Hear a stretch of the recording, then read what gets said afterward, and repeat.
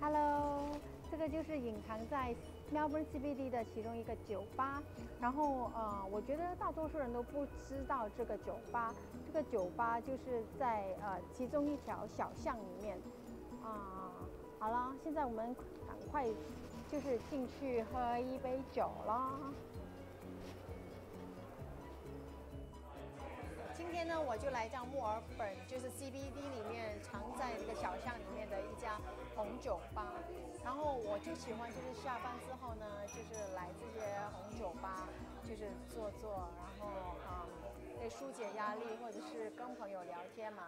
然后这家红酒吧呢，因为就是叫这个名字不会念，但是啊。我觉得这边环境还是挺好的，而且是装修了特别的高级，然后优雅，就挺喜欢这边的。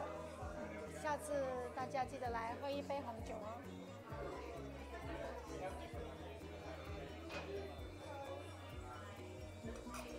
拜拜。